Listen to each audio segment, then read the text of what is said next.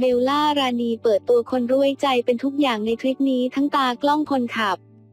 ถึงเวลาพักผ่อนหย่อนใจให้เต็มที่เลยค่ะสำหรับนางเอกสาวเบลล่ารานีแคมเปน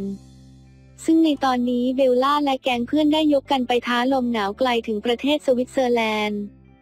ประเทศที่หลายคนอยากไปสักครั้งในชีวิตพร้อมเปิดแฮชแท็กแฮชแท็กสวิสที่ไม่ใช่ปลั๊กไฟซึ่งเบลล่าเองนั้นก็ไม่พลาดที่จะโพสต์ภาพสวยๆ มาฝากเฟ้นๆ และเมื่อล่าสุดวันที่ 29 ธันวาคม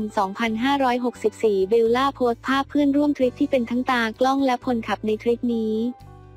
ซึ่งก็ไม่ใช่ใครที่ไหนนั่นคือคุณพลอยผู้จัดการส่วนตัวของเบลล่านั่นเองค่ะ บอกเลยว่าทั้งคู่นั้นสนิทกันมากไปไหนก็ไปด้วยกันตลอดตลอดด้วยใจกันซะยิ่งกว่าอื่นใด เรียกได้ว่าน่ารักสุดๆค่ะ